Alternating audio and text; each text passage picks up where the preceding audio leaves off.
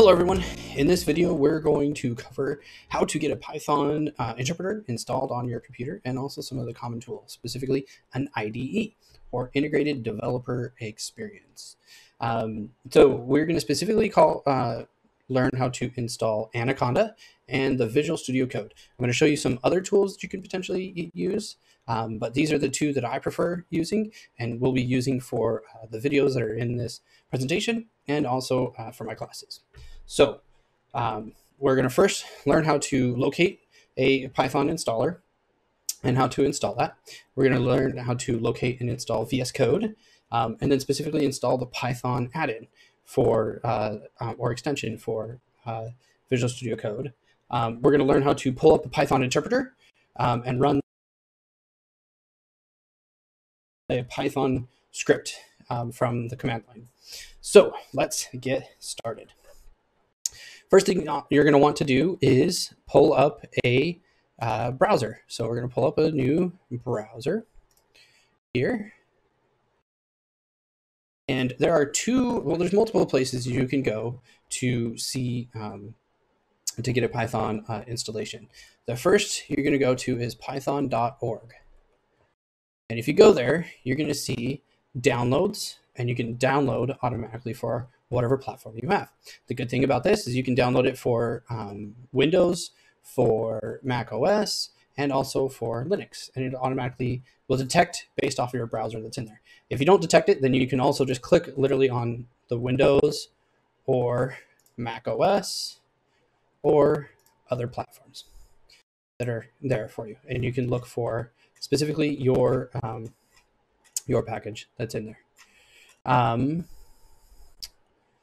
and uh, here's also all releases that you can have uh, that are in there and have some details that are specific to that. But what we're actually going to do instead is download Anaconda. Now, Anaconda, uh, package manager slash um, environment manager for you. The reason why I really love the Anaconda um, installation is because it um, has a lot of the packages already pre-built in there that you're going to most commonly be using. And as a beginner user, um, it's it's going to be kind of nice to have these. Some of these you may never use, and so it is a bigger install than a regular um, Python install. But we're not talking about a massive amount of space on your computer. Most computers have a lot of space, so it's not.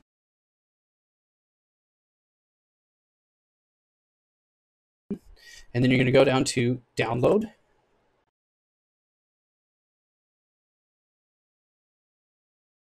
I'm going to select the 64-bit graphical installer. Um, you can pick whichever one, if whether you're running on Mac OS or Linux. Um, you're going to save that file, wait for it to download. And once it does, go ahead and open that up.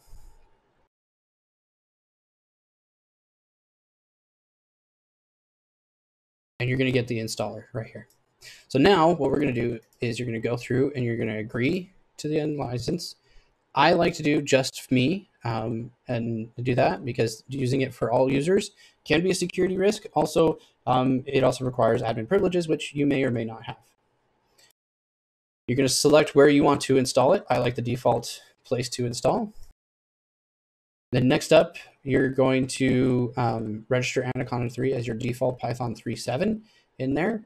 Um, so uh, this is also uh, something that's somewhat uh, controversial. I like to add Anaconda 3 to my path um, environment um, because I like to be able to open up my interpreter um, and, and do this. Now, this may or may not cause some issues, um, but I've actually had um, no problems uh, running this uh, with this. But um, I, I, do click this option even though it's not necessarily uh, recommended for there. Then click install.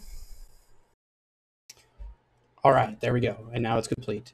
You're going to click on next.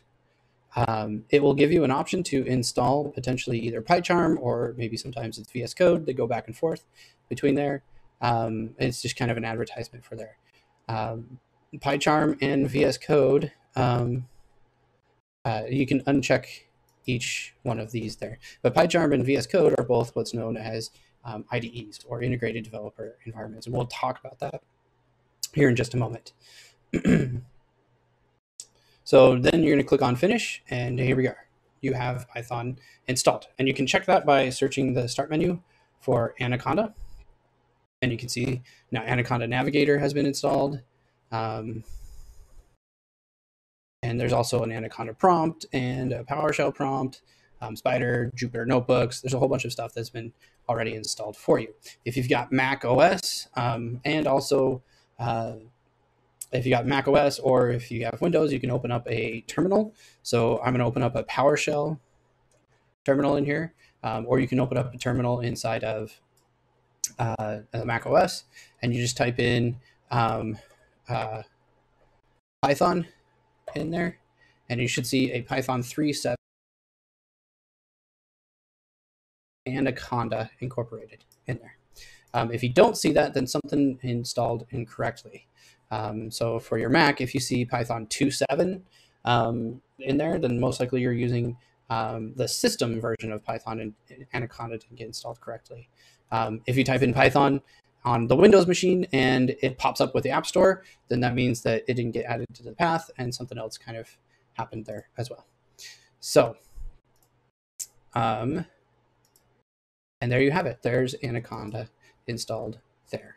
Um, next up, what we're going to do is we're going to install um, Visual Studio Code. So Visual Studio Code and PyCharm, um, Sublime, um, Visual Studio itself, um, those are all tools that are integrated developer environments. They help you to um, develop um, in pro different programming languages. Each of them have advantages and disadvantages. I personally like VS Code for Python development because it's very easy to install and set up. It's cross-platform, works for all um, for Windows, Mac, and Linux, and also um, the the uh, extension pack is very easy to install and get ready to go. PyCharm is another one that's very common, um, and it's it's free as well um, uh, for the uh, community edition, and also the educational uh, edition as well. Um, and and there's nothing wrong with PyCharm. It's just that um, I like to use uh, Visual Studio Code over PyCharm. So you can pick whichever you want, but for um, Visual Studio Code, we're just going to search for VS Code, and it should be the first thing. So code.visualstudio.com. You're going to download for Windows. You should get a download link. We're going to save it. After it downloads, we're going to install it, accept the agreement, pick where we want to install it, and I like to add these, the add to option to code for the Windows Explorer. There should be also some same similar options for um, uh, Mac OS. I also like to click this as well, uh, which is add uh, register code as an editor for supported file types. Um, then so click all. All right, and then click finish with that checked. And now we have a version of Visual Studio Code installed. Now, Control Shift P will pull up options. And one of the first things I like to do is change the color theme. Um, I already have some that were already installed from when I previously used it, um, and you'll be able to see some of those. Um, and you can get additional ones by clicking on the install additional ones, um, and you can see what those different ones are. Um, I'm going to set for the videos to be the light version so that you can see it uh, well enough. Next up, what we're going to do is we're going to go to our extensions in here. Um, it looks like I already have a bunch installed um, from when I had this previously. So um, the one that you want to look for is this Python one. So I'm going to uninstall this and show you how to do this.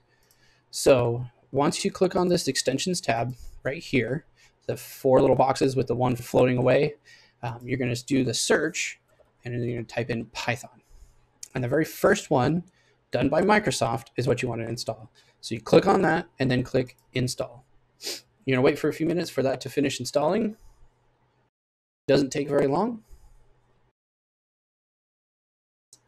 And boom, there it's done. And now you can do a uh, an uh, any type of uh, Python programming, and it's already got um, some autocompletes and stuff like that. So let's just create a new file. We're gonna save this as a test.py just to make sure that this works. We're going to do a print hello world like this. And there you go. You can see there's some highlighting going on there. You even saw that when I started to type out print, there were some um, auto completes that are going on in there. Um, so that, that shows on how to use Visual Studio Code to debug and run uh, different scripts. So go ahead and check that one out. Um, and that's a, a, great one to, to use. Um, but other than that, um, here you go. That's how you use uh, Visual Studio Code. So now finally, let's talk about how to run Python um, inside from the terminal. So we're not going to go into how to use it from uh, from the uh, uh, Visual Studio Code. That's in that other video. Uh, how to do it from your terminal. So I'm going to open up the Windows terminal um, in here. So this might be a command prompt or a PowerShell. Um, and in fact, I'll show you how to do it in the command prompt and the PowerShell. So from PowerShell, both of those should work. If you type in Python, you should get a REPL that's in here. Now this is a fully working uh, Python interpreter. So we can then do print hello world. And boom, it executes and you can see that that works like that. Okay. Um, and then uh, same thing for your command prompt. So we can type in Python, we get this um, on there. And then we can do print hello world on there. The other thing that um, comes with Anaconda is a um, so to pull that up, what you're going to do is type in IPython like that. And so when you do that, you're going to see something like this. Now, the reason why I like IPython is uh, it's got some additional kind of tweaks and things that go on there to make it a little bit easier for you to see and understand what's going on. So for example, we're going to do print hello world. We see that's printed out. We could also do some just regular calculations. So 2 uh, plus 2 and it tells you what is out. So what's interesting here is if you see an out, then that means that this was something came out of this this situation. Whereas if you don't see an out, that was actually printed out to the console. So this out means that something happened, but it wouldn't be necessarily printed out to the console. It's just something that kind of an execution that happened um, there. And so you can use that to kind of investigate. Um, there's a little bit just kind of a delineation kind of going there um, as well. And you can just start using this. You can create variables um, using this. So we're going to set this to equal to 2, and we're going to, you know, just start manipulating with this times 2, and we can kind of get those types of things. Um, and so there you have it. Now you have a fully working um, IPython and Python there. Now remember, Python IPython comes with Anaconda. If you installed um, Python just regularly, you're going to have to install um, IPython using uh, another package manager such as pip um, and, and be able to set that up. But we're not going to go into how to do that here. I'm just going to assume that you already have Anaconda installed for the rest of the videos. So there you have it. We learned how to get a Python um, interpreter uh, installed on your system. We learned how to install Visual Studio Code and the Python extension um, and how to pull up a file in there. Um, and then also how to pull up IPython and the Python uh, interpreters and start interacting with that. So thanks for checking out this video. Hopefully this helps you out and continue on um, learning about Python.